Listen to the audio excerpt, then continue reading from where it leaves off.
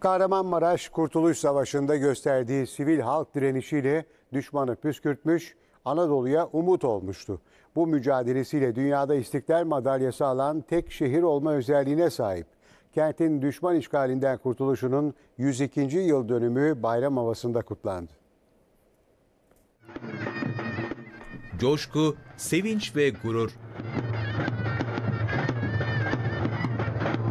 Kahramanmaraşlılar kurtuluş mücadelesinin yıl dönümü için sokaklara akın etti.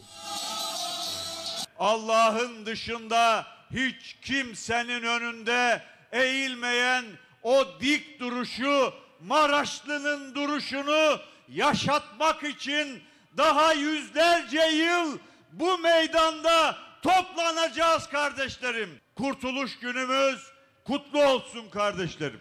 bu topraklarda kadim tarihimizden gelen bir kurtuluş destanını genç, yaşlı demeden farklı kültür ve mesleklerden hemşerilerimizle 102 yıldır gururla taşıyor ve yaşıyoruz.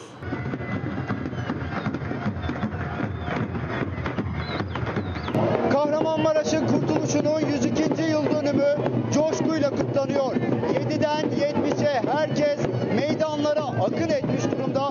Demokrasi meydanında ellerde Türk bayrağı ile birlikte davul zurnalarla halaylar çekiliyor. Kazanılan zafer kutlanıyor. Kahramanmaraşlı olmaktan onur duyuyorum. Bize mezar olmadan hiç kimseye gülizar olmaz zaten. Çocuklarım da birlikte giyindi. Kızım, oğlum, mutluyuz. Coşkuyla kutluyoruz bayramımızı. Onları da giydirmişsiniz böyle cicili cicili.